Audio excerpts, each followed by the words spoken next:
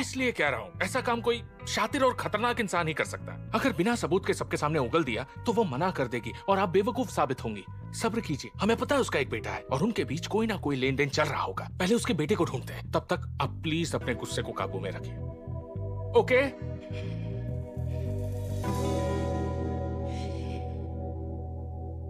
वैसे, मेरी कोई औलाद नहीं है तो मैं तुम्हारा हल समझ नहीं पाऊँगी। लेकिन मौसुल ही की भी कोई औलाद नहीं है तो वो भी क्या ही समझ पाएगी? इसके लिए औलाद होना ज़रूरी नहीं है। हमदर्दी महसूस की जाती है। लेकिन डिवोर्स के बारे में फिर से सोच लो। वक्त भले ही बदल गया हो लेकिन डिवोर्स से आज भी औरत का ही नुकसान होता है। ये बात तो तुम जानती हो। मुझे क्यों देख रही हो? तुमने जिनसे भी डिवोर्स लिया उन्होंने डिवोर्स होते ही दूसरी शादी कर ली। लेकिन तुम अभी भी यही हो। क्या कह रही हो? मैंने भी तो डिवोर्स लेकर दूसरी शादी कर ली थी। लेकिन उसके बाद फिर से डिवोर्स लेती थी ना। भाभी लेकिन प्रॉब्लम अभी मेरी नहीं है ना। पता है अभी हेंग कहाँ है? वो पहले ही इतने मुश्किल में है और अभी ये सब।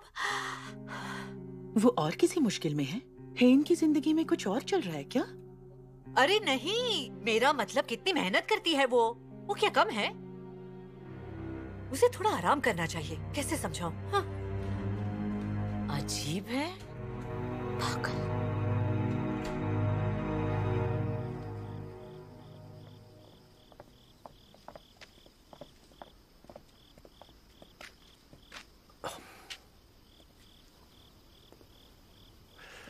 But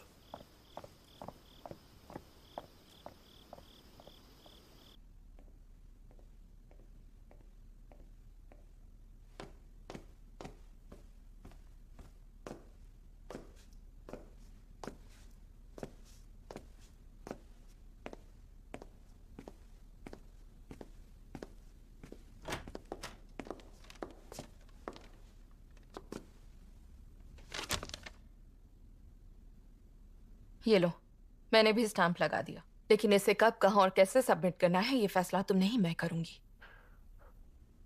ठीक है। आप समझे डिवोर्स के बाद मेरी बुआ अपने पतियों का बुरा हाल क्यों करना चाहती थी? देखना मैं अपने बुआ के मुकाबले बेहतर अटर्नी